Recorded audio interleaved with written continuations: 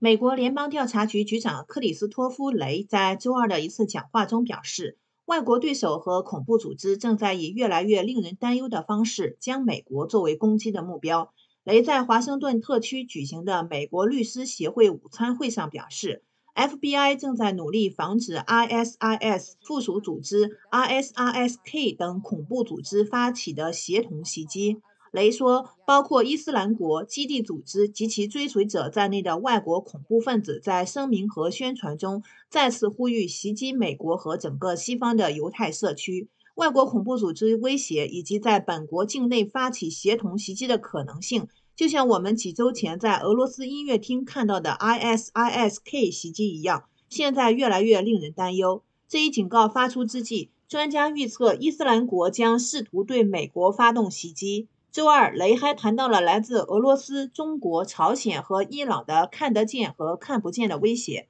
他说，俄罗斯的目标是对全球通信至关重要的水下电缆。雷说，俄罗斯政府继续大力投资网络行动，部分原因是他们将网络视为跟上我们步伐的非对称武器。俄罗斯继续以关键基础设施为目标，包括美国和世界各地的水下电缆和工业控制系统。我们看到俄罗斯对美国能源部门进行侦查，这加剧了人们的担忧。他在演讲后还接受了提问，并在演讲中猛烈抨击众议院共和党提出的削减联邦调查局预算五亿美元的提议。他说：“削减联邦调查局的预算是让我们倒退的一种形式。”